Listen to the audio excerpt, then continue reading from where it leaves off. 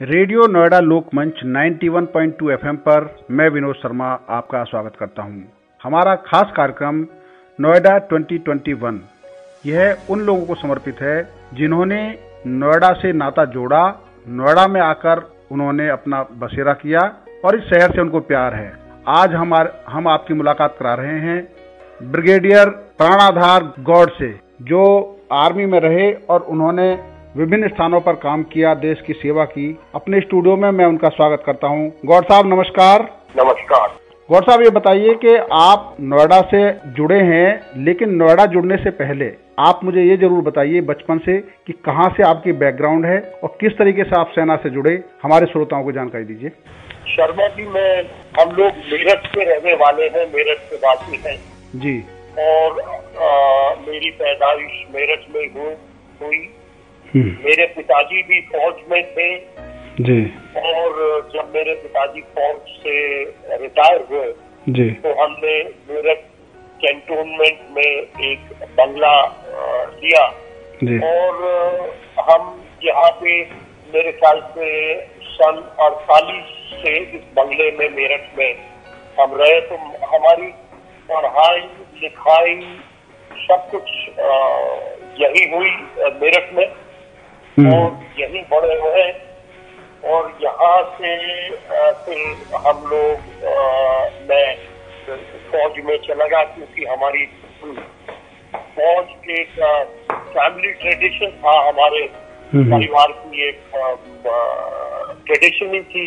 जी जी। मेरे दादा भी फौज में थे हम्म। पिताजी भी फौज में और हम तीन भाई थे हम तीनों के तीनों भाई फौज में। मेरी बहन है तीन बहन थी। तो हम्म। तीनों बहनों के जो हस्बैंड थे वो हम्म। तीनों फौजी में तो हम लोग एक बहुत बड़ी फौजी फैमिली है तो हम मेरठ से फिर मैं फौज में चला गया। जी। और बस पैंतीस साल फौज में काटे मैंने। हम्म। कौन से ईयर में आपने फौज ज्वाइन की थी? मैंने शर्मा जी फौज में मैं इकहत्तर के शुरू में फौज में मैं चला गया था। आए में देहरादून से मुझे कमीशन मिला। हम्म, हम्म और मैं गोरखा रेजिमेंट गोरखा रेजिमेंट में मुझे कमीशन मिला जो कि एक भारत की सेना में बड़ी मानी हुई एक रेजिमेंट है उसमें मैं आ, मुझे कमीशन मिला। जी। और बस कमीशन मिलने के बाद मैं फ़ंक्शन में फिर इकहत्तर की लड़ाई में मैं पुंछ जे में मैं पुंछ आ, जो सेक्टर था हम्म, हम्म। वहाँ पे मेरी रेजिमेंट पलटन वहाँ पे थी तो हम इकहत्तर की लड़ाई में पुंछ में हमने आ, आ, जंग में शामिल रहे। जी। और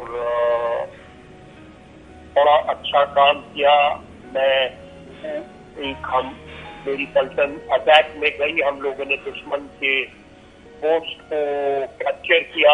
हम्म। उस अटैक में मुझे चोट भी लगी मुझे घायल हुआ। मेरे दोनों पैरों में आ, आ, स्प्लिंटर लगे थे। हम्म। तो मैं उस अटैक में घायल हो गया था और आ, बड़ा अच्छा काम हम लोगों ने वहाँ पे किया। दुश्मन की दो पोस्ट हम लोगों ने कैप्चर की। हम्म। और एक उस हमारा जो पूरा जो सेक्टर था डिप सेक्टर में वो एक एक ऐसा जिसे बोलते हैं offensive operation successful offensive operation. हमारी ही पसंद ने हम लोगों ने ही उन सेक्टर में किया था। हम्म कोई ऐसा क्षण भी आया जिसमें जिसे आज आप याद करते हैं और गर्व से मतलब अपने परिवार के साथ शेयर करते हैं कोई ऐसा क्षण हमारे श्रोताओं के साथ आज बताना चाहेंगे? अब सबसे बड़ी बात की बात तो ये है कि मैं अपने देश की सेवा करने का मुझे मौका मिला। और मैं आ, बिल्कुल फ्रंट लाइन पे आ, मुझे खुश किस्मती से मैं इकहत्तर की लड़ाई में शामिल हो सका। हम्म। और उस लड़ाई में हम हम्म। लोगों ने बड़ी बहादुरी से काम किया। जी। और मुझे आ, ये याद है कि हम लोग रात में रात के अंधेरे रात में हम लोग कैसे अपनी पोजीशन से और मेरी कंपनी और मेरे साथ के जो साथी लोग थे और भी थे हम्म। हम लोग कैसे पहाड़ से नीचे उतरे हम्म। ऊपर जाते और इसमें इसके साथ साथ गोलाबारी हो रही थी। हम्म, हमारी तरफ़ से भी और पाकिस्तान की तरफ़ से भी गोलाबारी चल रही थी फायरिंग हो रही थी।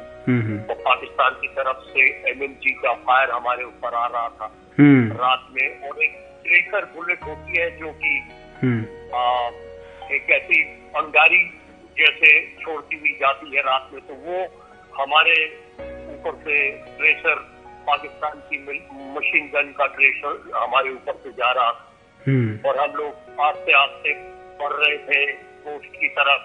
हम्म, और वहाँ पर पहुँच के नज़दीक जब हम पहुँचे तो हमारे आ, साथियों को भी आ, घात पहुँचा। हमारे कई जवान हमारे साथ मेरे साथ के कई जवान घायल हुए कई जवान मारे गए मेरे साथ। एक ऑफिसर था मेरे ही साथ का ऑफिसर था वो भी एक नया लेफ्टिनेंट था। हम्म, उसको गोली लगी वो मारा गया। हम्म। मैंने उसको देखा। और हम लोग आगे बढ़कर हम लोगों ने अपनी खुकरियाँ निकाली। हम्म, गोरखा का एक आखिरी हथियार है लड़ाई करने का खुकरी जी। को निकाला। हम्म, और आयो गोरखाली की हमारी वॉर क्राई जो है हम्म, आयो गोरखाली के साथ हम लोगों ने दुश्मन के पोस्ट पर चार्ज किया। हम्म, और उस पे हम ने कब्जा किया। हम जब पोस्ट पर पहुँचे पोस्ट का नाम तो सूका नामन था। बाद में उसे हमने उसका नाम शांताराम रख दिया क्योंकि जो ऑफिसर हमारा आ, इस लड़ाई में काम आया जिसकी मैं बात कर रहा था। जी जी। उसका नाम शांताराम था। जी जी। तो हम जब वहाँ उस पोस्ट पे पहुँचे। तो दुश्मन वहाँ भाग चुका था। हम्म, और हमारे को पाँच दुश्मन की बॉडीज उस पोस्ट पे मिली। हम्म। और बहुत सारा असला हथियार दुश्मन छोड़ के चला गया था। हम्म, यहाँ तक कि अपना उन्होंने रात का डिनर भी नहीं किया था वो खाना भी वही पड़ा हुआ था उनके। लंगर में उनका खाना हम्म। पड़ा हुआ था चावल थी हम्म। राजमा दाल थी हम्म, सब्ज़ी थी वो सारी कुछ वही छोड़ के वो लोग बाहर खड़े हुए। हम्म, और हम लोगों ने वो पोस्ट कैप्चर की। और हम्म, कैप्चर करने के बाद फिर वो हमें ये पता चला तुरंत कि हम्म। उसकी बगल वाली पोस्ट है वो वो भी खाली हो गई है। हम्म, वो भी भाग गया से भी दुश्मन भाग चुका है। हम्म, तो हमने अपने हेडक्वार्टर से इजाज़त ली कि वो पोस्ट हमें लगता है खाली हम उसको भी कैप्चर करना चाहते हैं। हम्म, तो उन्होंने कहा एकदम आप चलिए हमारे जो कमांडिंग ऑफिसर थे उन्होंने कहा कि कई उन्होंने कहा कि हम्म। चलिए आप हम्म। पोस्ट को भी कैप्चर कर लो। तो हम्म। हम फ़ौरन एकदम से वहाँ पे एकत्रित हुए रीऑर्गेनाइज हुए और दोबारा से हमने फायर सपोर्ट आर्टिलरी का मांगा और उस आर्टिलरी के फायर सपोर्ट के साथ हमने उस पोस्ट से भी धावा बोला। हम्म, हम्म, वायु पुरखानी की आवाज़ से हम लोग उस पोस्ट को भी कैप्चर हम्म, कैप्चर कर दिया हम लोगों तो ये जो हादसा है जी। अ, लड़ाई का लड़ाई का माहौल और मैं उस टाइम पे मेरे ख्याल से बीस इक्कीस साल का था मैं पूरे जोश में और जब दुश्मन के और अपने फायर की पूरी आप अंदाज़ा लगा सकते हैं कि हम्म, चारों सब तरफ़ तरफ़ से फायर हो रहा है हम्म, और उसमें आयो गुरखानी की आवाज़ आ रही है। हम्म, और दुश्मन वहाँ से अल्लाह अकबर चिल्ला रहा है। अब इस माहौल में आप अपने आप इमेजिन करें कैसा ये माहौल था। ये मेरे दिमाग में मेरे जिस्म में में, में अभी तक ये बिल्कुल ताज़ा है। और हम्म। मैं बड़े फख्र से बड़े गौरव से कहता हूँ कि हमारी फौज इतनी बहादुर है कि हम कुछ भी काम कर सकते हैं। पूरा तो- यकीन है मुझे आप तो जिस समय ये जीत आपने हासिल की थी कब्जा किया था उस समय आपके पिताजी की पिताजी थे उस समय? प्रतिक्रिया क्या रही है उनकी परिवार की तरफ़ से उस समय? तो मेरे पिताजी तो उस टाइम पे जब मैं फौज में भर्ती हुआ तो मेरे पिताजी रिटायर हो चुके थे अच्छा। से। हाँ। और वो यही मेरठ में थे। हाँ। तो उनको उनको पूरा विश्वास था वो ये हमेशा ये कहते थे कि मेरा बेटा बहुत बहादुर है। हम्म, हम्म, हम्म, और ये इस लड़ाई में। ज़रूर अच्छा काम करके दिखाएगा। मैं मेरे कुछ मेरी माता जी कुछ परेशान भी थी। लड़ाई है और मेरा बच्चा गया हुआ है। बड़े भाई भी शामिल थे इस लड़ाई में। तो परिवार के दो तीन भाइयों तीन भाइयों में से तीन लड़कों में से दो लड़ाई में शामिल थे। तो मेरी माँ थोड़ी परेशान थी पर मेरे पिताजी काफ़ी का हौसला बड़ा बुलंद था हम्म। फौजी थे। हम्म, उन्होंने कहा कोई वो सेकेंड वर्ल्ड वॉर में मेरे पिताजी लड़ाई कर चुके थे हम्म। और बाहर नॉर्थ अफ्रीका में रह चुके थे बर्मा कैंपेन में रह चुके थे। और सैतालीस की लड़ाई जब पार्टीशन में पाकिस्तानी घुसपैठिया आ गए थे तो उस लड़ाई में थे। मेरे पिताजी कहते थे कि नहीं यह हमारा खानदानी पेशा है। हम हमेशा से हमारा खानदान इस देश की रक्षा के लिए हम्म, कर रहा है।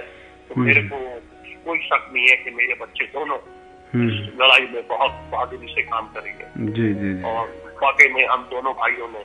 बड़ा अच्छा और बड़ा बड़े हौसले के साथ हम लोगों ने अच्छा। इकहत्तर की लड़ाई में था जी जी। आप जो नोएडा पहली बार जब आए और नोएडा में आपने क्या देखा पहली बार और कैसे आपका नोएडा आना हुआ?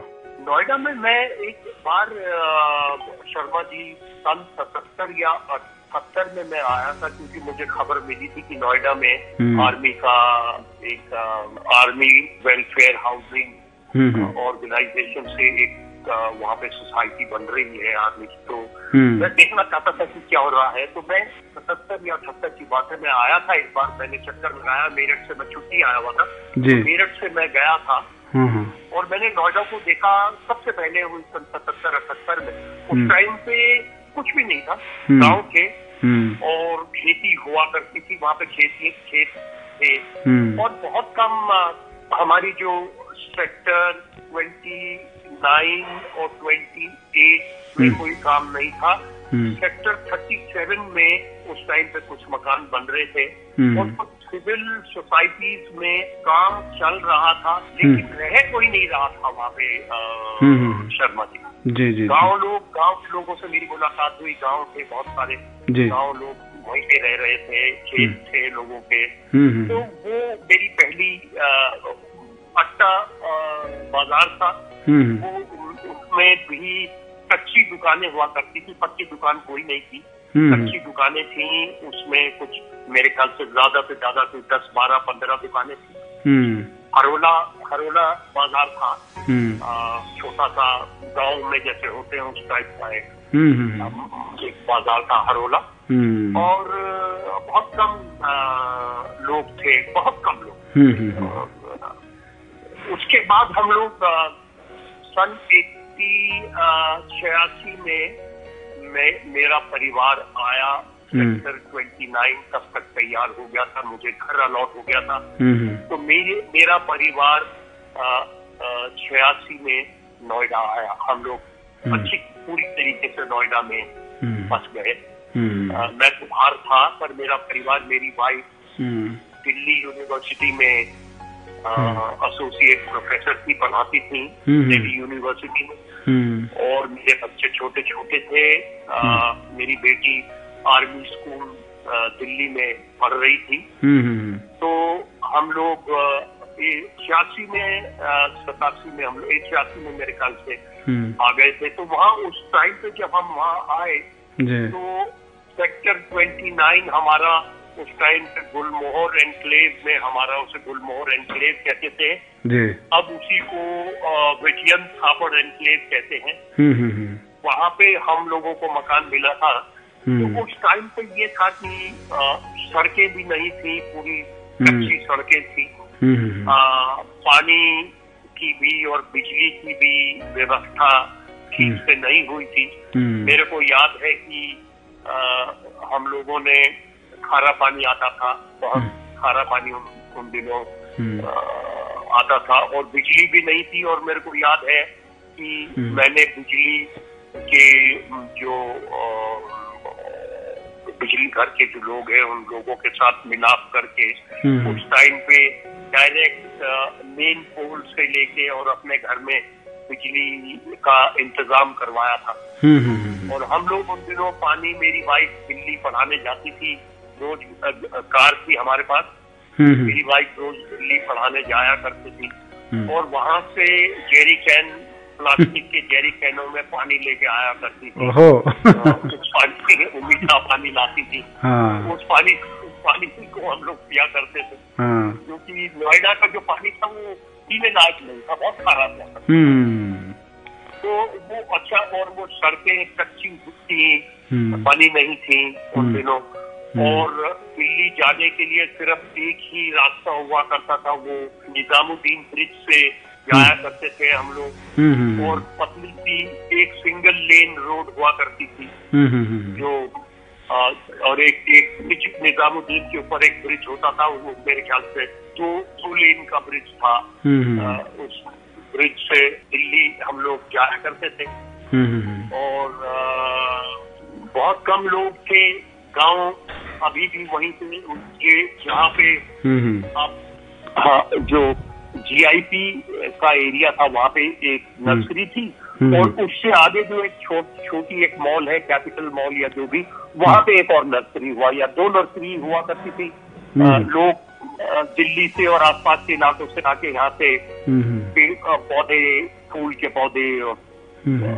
और फल के पौधों को खरीद के ले जाया करते थे। हम्म। ये मुझे याद है मैं भी वहाँ से पौधे लेके आया था। हम्म उन दिनों वहाँ पे कोई मॉल शॉल कुछ नहीं हुआ करता था खुला इलाका था खेती हुआ करती थी। जी। और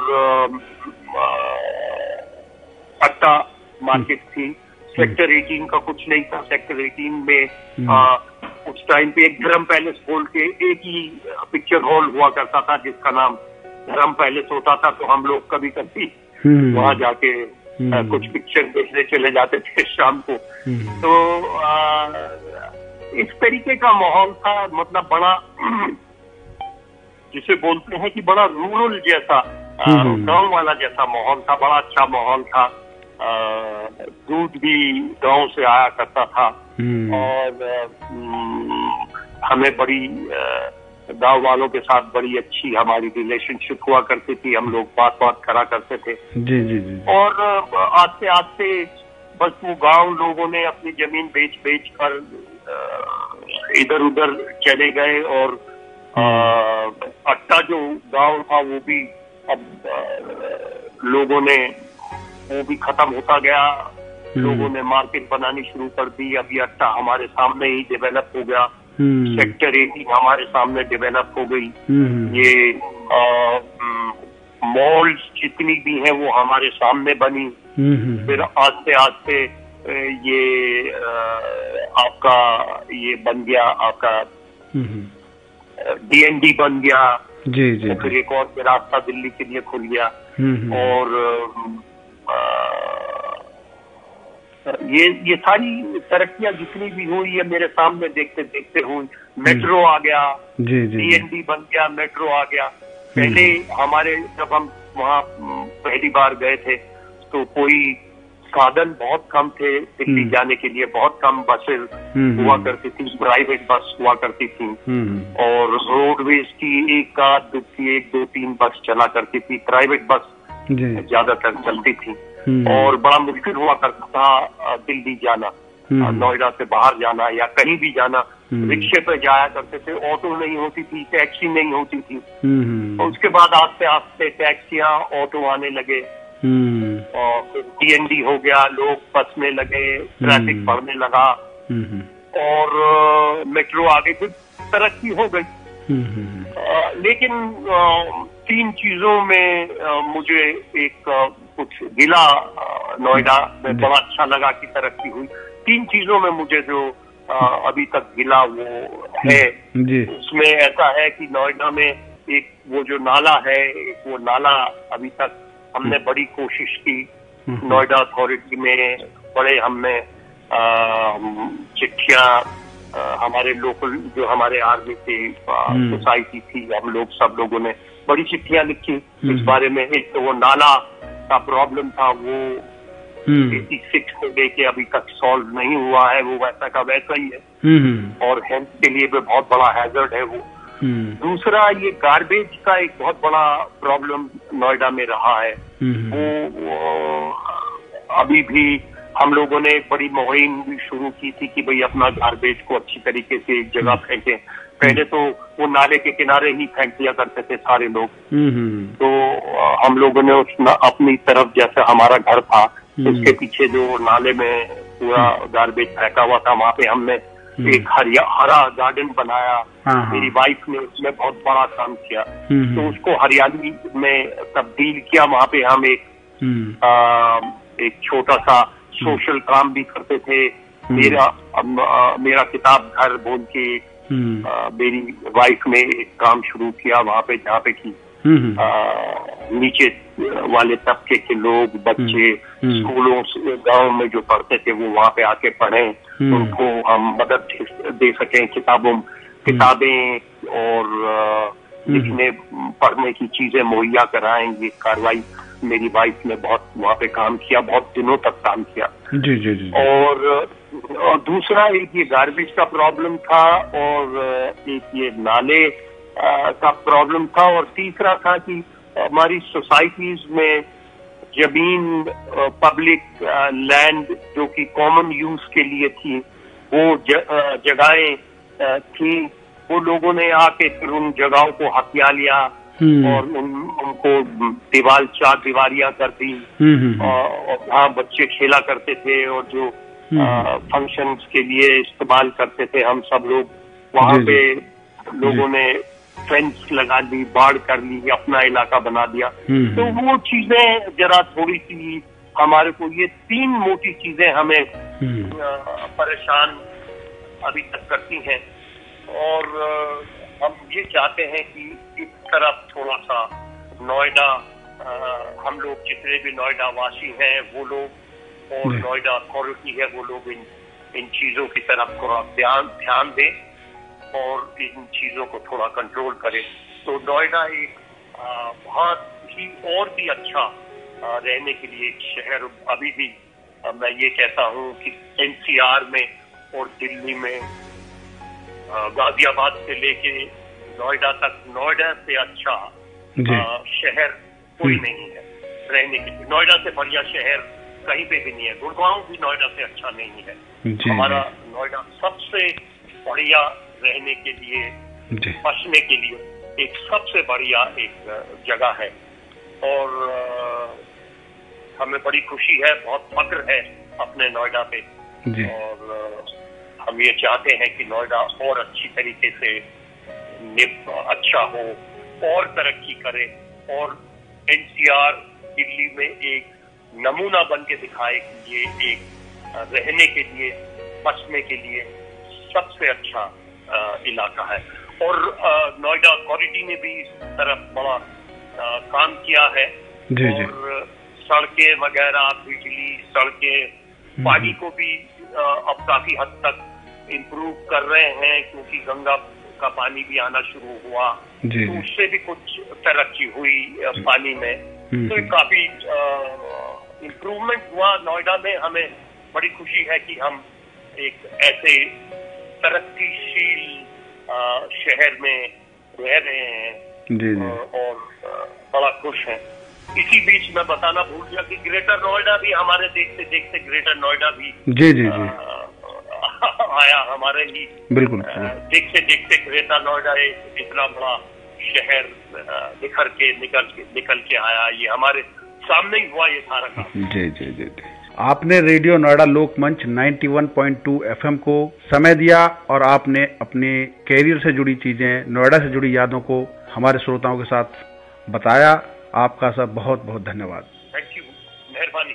हमें मुझे बड़ी खुशी है कि मैं आपके प्रोग्राम में शामिल हो सका। धन्यवाद। धन्यवाद। धन्यवाद।